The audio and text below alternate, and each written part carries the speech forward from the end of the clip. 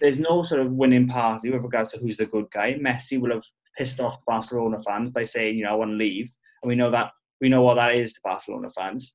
I'm sure they forgive him, but in the Barcelona camp have obviously pissed off the rest of the world by not let, letting him leave. So um, they're talking about Depay and Wijnaldum as signings uh, to come in, and that they're not good enough. They're not good enough to to strengthen them to that point. So uh, it'll be interesting to see what happens. Spooner, I, I know you're itching. I've seen you rocking I, I, back you know what, lads? I, I didn't want to do this to him. I didn't because Lionel Messi, right? Let me just give some context to Lionel Messi fans. He's not above criticism. Lionel Messi, the footballer, is quite frankly a gift from God. We we'll all agree on that. No one's going to dispute that. The man is incredible. But as a businessman, oh boy, I'm about to go in on you, Lionel Messi. Let me tell you. Right. Let me start by saying Reese hit the nail on the head there. We come on this podcast all the time. Top level football is a ruthless, disgusting business. It is so dirty. Lionel Messi tried to do Barcelona dirty. Barcelona tried to do him dirty. This is what Lionel Messi said in his interview with Goal, right? And this is what he's quoted. Right? I just want to make sure I'm accurate. So I want to make sure I'm giving facts. So I told the club, the president, that I wanted to go.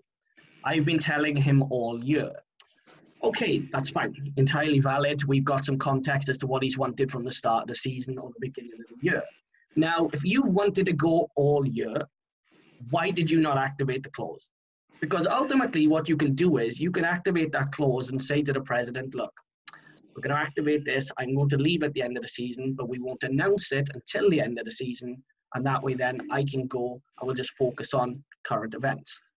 He didn't do it. So, as a businessman, I'm looking at this situation and I'm thinking, you've had, if you were telling him at the start of the year, so let's say this is January, you've had a full six months to exercise that clause, and you never did. So, do you know the contract that you negotiated? Because Lionel Messi negotiated his deal.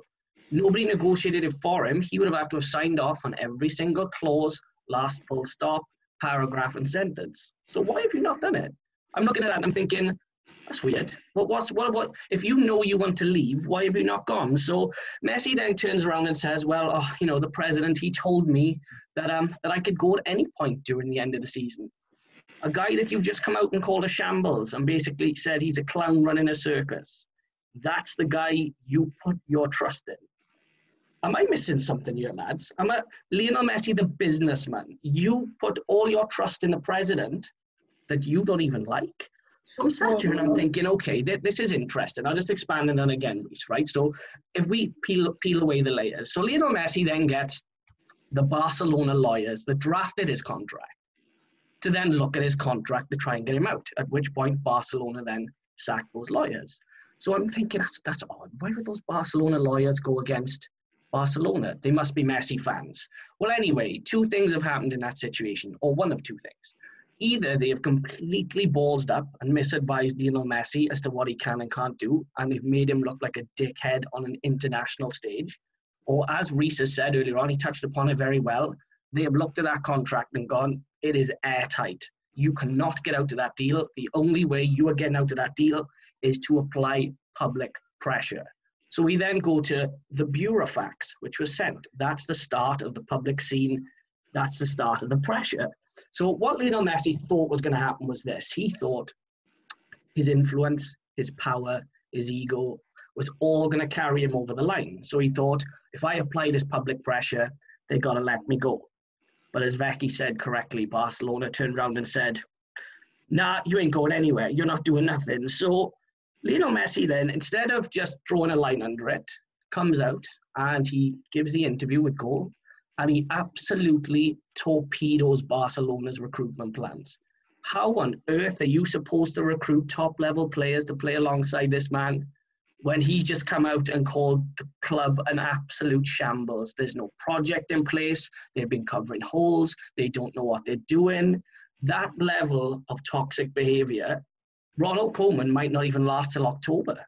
How that man is going to see Christmas, he can't recruit. There's no money there. Everyone's a yard slower. Everyone's a year older. There's no intensity in the squad.